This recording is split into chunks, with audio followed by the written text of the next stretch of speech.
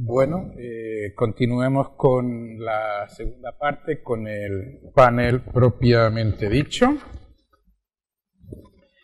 Eh, en la mesa nos acompaña Camille Nussbaum, que es el encargado de formación del IECA, José Luis Barreiros, que es el director de Colombia de Acción contra el Hambre, Rafael de Prado, jefe de la Oficina Humanitaria de la ECID, Nahuel Arenas, el director humanitario de Oxfam América, y Degan Ali, que es la directora de ADESO, African Development Solutions, y Laura que va a hacerle la traducción a Degan.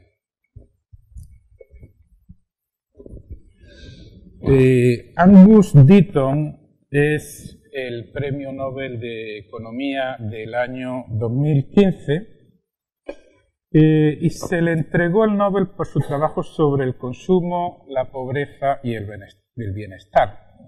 Él se describe a sí mismo como una persona preocupada por la pobreza en el mundo, eh, cómo se comporta la gente y qué cosas hacen que la gente sienta que la vida es buena.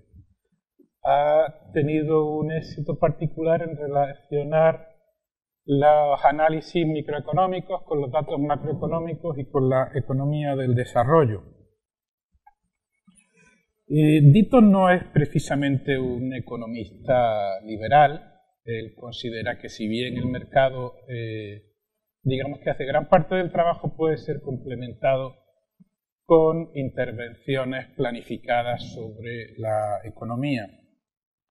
En 2013 escribió un libro que se llama The Great Escape, La Gran Escapada o La Gran Evasión, el mismo título que había una película antigua sobre una fuga de un campo de concentración.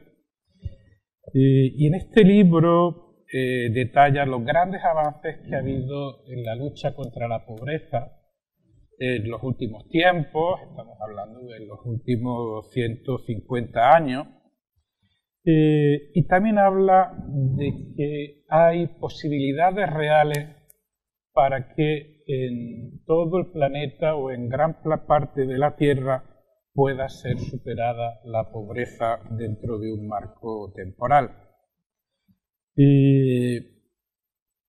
pero en el último capítulo del libro, eh, Angus Deaton decide ponerle una bomba a todo el edificio de la cooperación internacional y dice que cuando existen las condiciones para que un país se desarrolle, la ayuda al desarrollo no es necesaria. En cambio, cuando las condiciones locales son hostiles al desarrollo, la ayuda no sirve de nada y de hecho puede hacer daño si contribuye a perpetuar esas condiciones locales.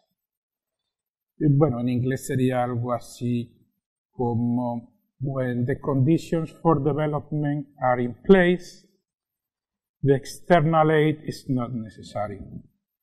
When uh, the local conditions are not good for development, aid is useless as well, and in fact, it could be uh, like fuel for those hostile conditions for development. Es decir, que para que se generalicen los beneficios del desarrollo hay que acabar con la ayuda. La gran escapada, según Dito, la gran escapada de la pobreza es crear unas condiciones internas libres de la ayuda exterior. Obviamente este final no ha dejado indiferente a nadie, no ha pasado desapercibido y enseguida le han surgido gente que lo critica eh, decididamente o gente que, igual, que igualmente lo apoya. Vivimos en un mundo ideologizado en el que tendemos a tener desprecio o considerar enemigos a la gente que piensa eh, de un modo diferente al nuestro.